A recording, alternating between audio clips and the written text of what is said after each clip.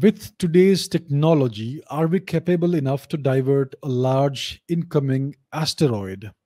In short, can we survive a dinosaur like situation? A good question. So, what happened to the dinosaurs is that an enormous asteroid or comet impacted the Earth. It is believed to be around 10 to 15 kilometers in diameter, an enormous space rock which hit the Earth in Mexico's Yucatan uh, Peninsula. We have found the impact crater.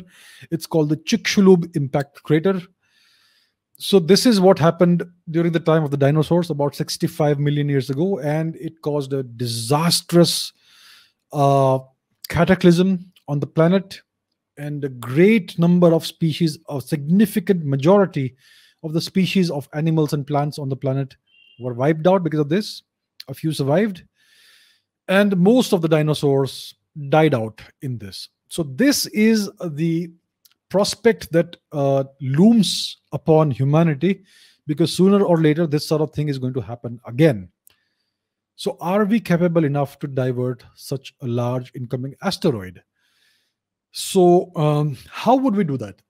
The uh, popular science fiction movie strategy to deal with this is to launch a nuclear missile at this incoming asteroid However, you find that even if you were to detonate a big, very powerful nuclear bomb, maybe 50 megatons or so, at an uh, near an asteroid, it would merely fragment the asteroid, and instead of one large asteroid hitting the Earth, you would have a bunch of fragments hitting the Earth in multiple multiple locations. So it's not the best strategy. I think the best way to divert an asteroid is to use something called a gravity tractor so what you would do is you would send a spacecraft near the asteroid, uh, maybe a year or so before it's supposed to inter- intersect with the Earth's orbit, and you would use the gravity of this sa- uh, satellite or spacecraft to slowly, slowly, slowly nudge the incoming asteroid away from Earth's from the trajectory of the Earth's orbit. So this is called uh, gravity tractor, or uh, so that's what what could basically deflect it just enough so that it will miss the earth. So this is theoretically possible. Uh, have we ever tried this on an asteroid just to see if it works? We have never tried it.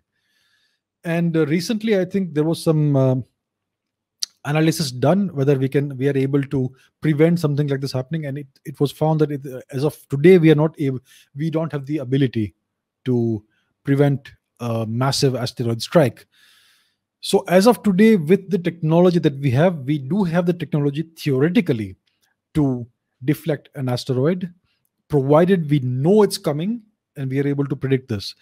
The thing is that there are so many asteroids in the solar system.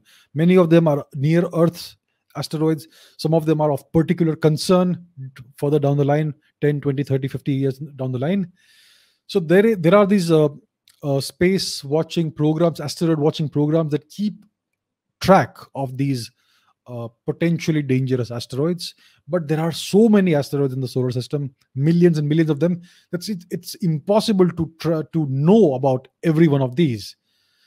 So there's always the possibility that something will come out of somewhere and could possibly uh, pose a significant danger to earth. So in short as of today we uh, basically don't have the capability to to divert a large incoming asteroid. If today, if ast- uh, astronomers were to were to find suddenly a new asteroid that's going to hit the Earth in six months' time, we are most likely doomed. Most likely, it will be very difficult to scramble a mission, a space mission, in time to do something about this. If you find something that's going to happen maybe one year down the line, it may give us a better chance.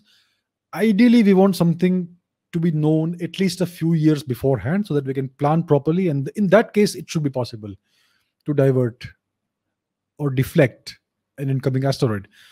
But at short notice, it's basically impossible. So one hopes it doesn't happen anytime in the near future.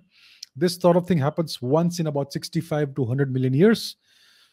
So it's been 65 million years since the last time it happened. So so it's best that we are prepared for this.